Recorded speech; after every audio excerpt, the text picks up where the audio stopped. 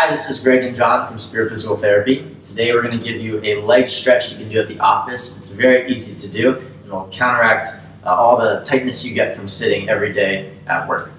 This is going to be a figure four stretch. You're going to cross over one leg onto the other knee. You're going to push down on that knee and you should feel a stretch in the back of your glute. If you can't feel it there, then you will add a bend forward. So keep your back straight, keep your core engaged, lean forward, and you should feel an even better stretch there. Try it, hold it for 30 seconds on the hour throughout the day. Let us know what you think. Sitting all day, you get really tight hip flexors. Hip flexors attach from here in your back, they go to the front of the thigh. So we need to stretch to loosen them up a little bit. What you're gonna do is kick this leg back behind you, get to a nice 90-90 position.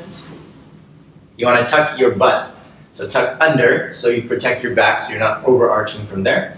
Then you bring yourself forward and you should feel a stretch in the front of the hip. Try this out, 30 second hold every hour and let us know what you think.